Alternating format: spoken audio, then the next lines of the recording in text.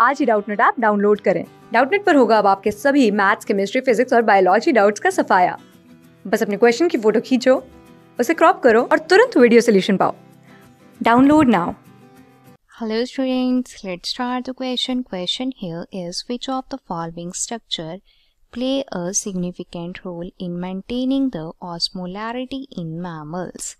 Right right, तो यहाँ पे बोला गया है कि गिवन ऑप्शन में से कौन से स्ट्रक्चर्स जो हैं वो सिग्निफिकेंट रोल प्ले करते हैं मैमल्स में ऑस्मोलैरिटी को मेंटेन करने के लिए।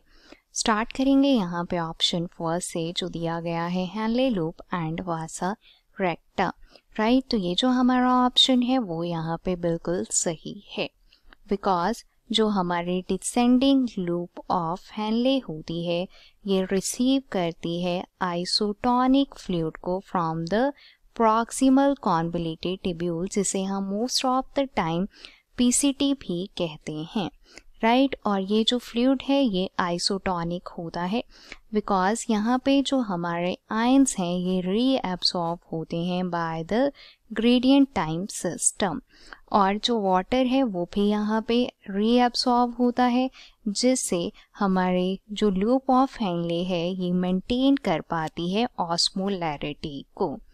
Right right. अब अगर हम वासा रेक्टा की बात करते हैं तो वासा रेक्टा जो है वो हमारा कैपिलरी नेटवर्क होता है जो सप्लाई करता है ब्लड को टू द मेड्यूला राइट और ये जो है हाईली परमिएबल होता है वाटर और सॉल्यूट के लिए.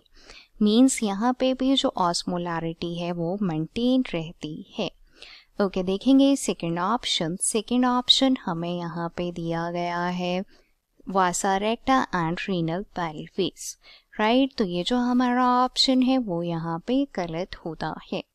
थर्ड ऑप्शन देखेंगे, जो दिया गया है वासा रेक्टा एंड क्लोमेरुलस तो ये जो हमारा ऑप्शन है, वो भी यहाँ पे गलत है। लास्ट दिया गया है renal pelvis and collecting duct again the option is wrong so correct answer remain option first here and other are the wrong option given for this question right class six से twelfth से लेके NEET I I T JEE mains और advance के level तक। दस million से ज़्यादा students का भरोसा। आज ही डाउनलोड करें डाउट नेट आप या व्हाट्सअप कीजिए अपने डाउट्स आठ चार सौ चार सौ चार सौ पर।